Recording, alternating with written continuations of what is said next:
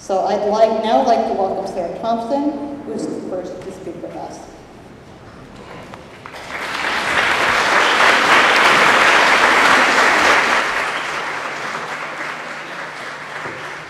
Well, thank you, and, what a lovely speech. I just, uh, I don't know whether I can top that because everything that you, taught, you touched on is something that, that I uh, believe in. And um, I'll tell you a little bit about myself. At 16, I started pumping gas. By the time I was 18, I started my first company. At 24, I was recognized as top dealer in Canada. And by the time I was 30, I built a multi-million dollar company, turning around failing service stations and making them successful. I was the, one of the first to bring the store concept into the gas station industry. I'm running for mayor because I'm, I'm fed up with City Hall. I'm fed up with politicians who say there's nothing wrong.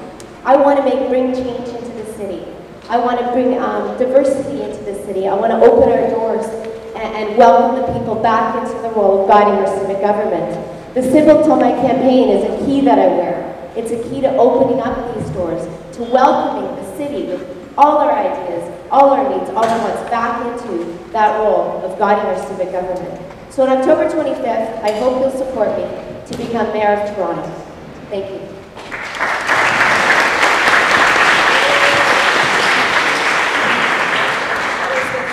Oh, sorry.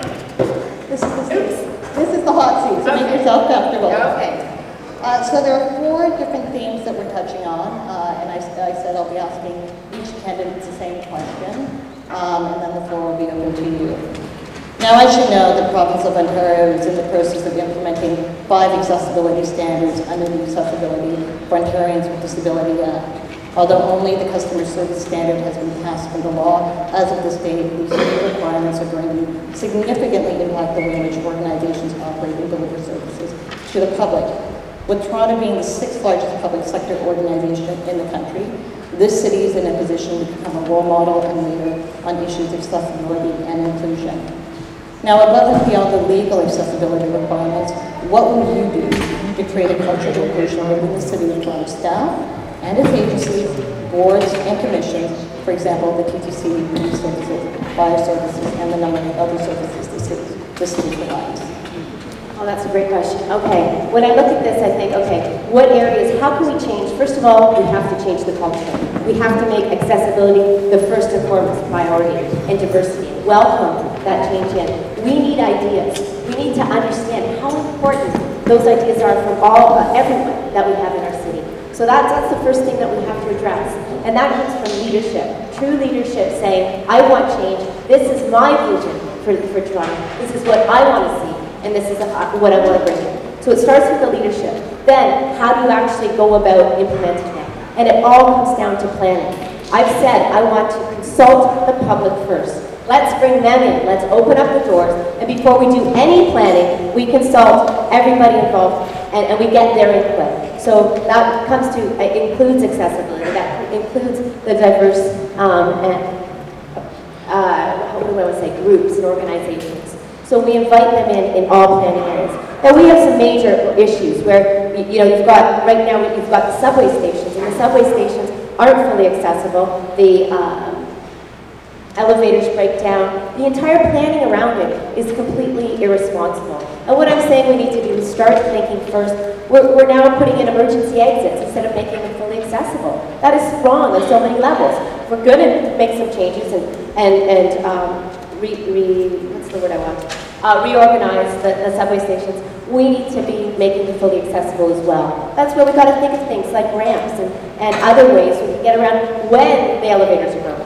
So that's an area where I believe we have to approach planning. That's right. If if I were the we have to make it something called fire code accessibility now. And that should be federal. Okay, I'm going to ask that uh, people wait until the end of the conversation and then we'll open the floor for questions. So moving on to budget, which is a... Two minutes, I guess. Sure. Yeah. Yeah, we have two minutes. How are we doing for time? Twenty seconds. Okay, in that case, I'm going to move on. Uh, Obviously, one of the biggest topics in this election is budget. In light of recent economic challenges and rising needs in other areas, many of you have made reduced spending part of your platforms Often it is the most vulnerable members of our society who are the first to be hit by budget cuts, and those with disabilities are often among the most vulnerable of the low-income population. How will you, as mayor, ensure that people with disabilities are protected when budgets are developed and implemented? And please be specific. Okay, now this is where um, being a mother of two children, being somebody who really is running because I care about this city, uh, this is where being a woman actually, I believe, does make a difference. I, run, I want to run the city like a well-run household. In other words, we care for those in need and we balance our books properly. So what I've said is we need to balance our books, we need to get some costs down. We have a, a middle bureaucracy that is costing us a lot. The front lines aren't being heard by the management. There's a lot of savings there. There's a 6% attrition um, a rate at City Hall, and I think we need to take that make an opportunity of it. I think there's a lot of money there that can be saved. And that money I want to put into um, issues around accessibility, issues around uh, fair, equitable hiring. There's so many things that we're not approaching, and we're not making a priority. And for me, it's about making a priority. So when it comes to the city buildings, for example, why not make them, say, polling stations? And we get the federal government in, we get the provincial government in. And we say, you know what, these, we're going to make these areas polling stations. You know what happens when you do that? They have to be fully accessible. The province and the feds come in, they help us pay for that. So that's one example where you have to just kind of think outside the box a little and say, how can we make what we want to happen? How can we implement that and make it really happen? So that's an area where I would work on. But really it's about making the, the, the decision to lead on accessibility issues, making that decision in every single department.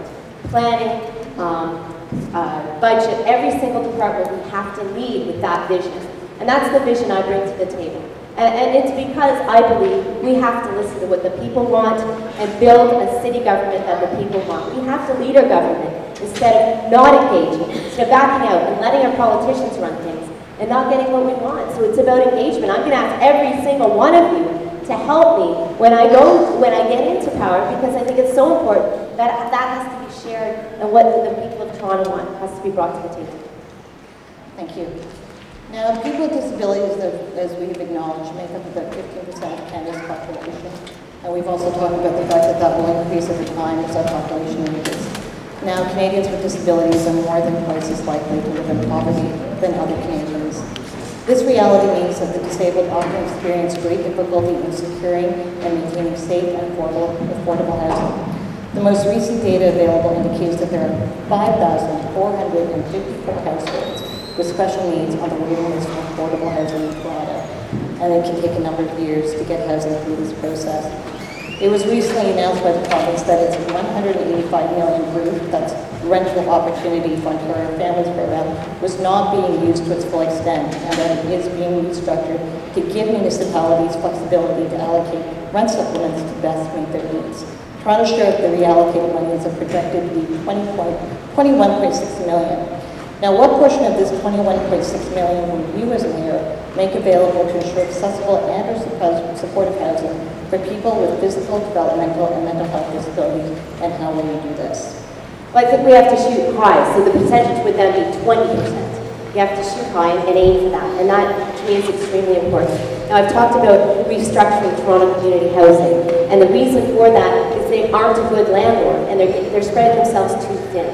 They're getting into key care components that they're not doing a good job in when it comes to that. So what I'm, I'm looking at is, let's restructure Toronto community housing, get them to focus on being a good landlord, let's get them to get rid of the bedrock problem we have in Toronto.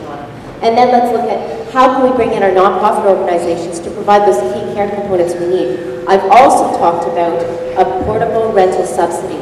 So we give these subsidies so that people have choice because what's happening is a lot of um, those that are, are low income are having to go into high priority neighborhoods. I don't believe we should be doing that. I think what we need to do is spread them out, have them interacting more within all the communities. So a, a portable rental subsidy allows people to choose where they want to live. It allows us to, to spread them out across the neighborhoods. If you look at something like the St. Lawrence uh, market area, there's uh, Jane Jacobs created that. Her idea is 10% low income. We have that mix, and we use mixed use mixed income kind of zoning. So we allow that mixed income, but we also allow mixed use. So you, you know the dry cleaners are there, the school's there, and we've got residential in the same area. And that's the only thing that's worked. but we're not copying it. I say if something works, copy it. Do it again and again and again all over Toronto. And that's my, my vision. I want to see more of that all over Toronto and, and, and less of these high priority neighborhoods that develop where we shove our poor into one area and that's it. And we, we, then we have to deal with crime and everything else that comes up with that. So for me, we, we spread it out and we work together in all communities to create a better um, quality of life for all. According to a recently released City of Toronto report, 6.4% of Torontonians without disabilities participated in a registered City of Toronto Parks, Forestry, and Recreation program in 2005. In the same year, the percentage of Torontonians with disabilities who participated was only 0.4%. Now, obviously, we're referring to swim programs, skating programs, and community programs that all of us uh, see happening, particularly over the last several months. Despite the large body of research that shows the many benefits of recreation for people with disabilities, it seems that the city's programs are not attracting this community and may not actually be accessible. How will you ensure that parks, forestry, and recreation comes out with a realistic and economically viable plan to ensure that people with disabilities have equal access to recreational programs in their neighborhoods and do not have to travel long distances or encounter limited selection of programs that can accommodate their needs? That was, that was a great question. Um, I've, I've talked, I released, this week, I released my, my operating budget plan. And what it does is it, it reduces costs when it comes to that 6% attrition rate. It looks at paying down our debt, which is at $3 billion and costing us $430 million a year to finance.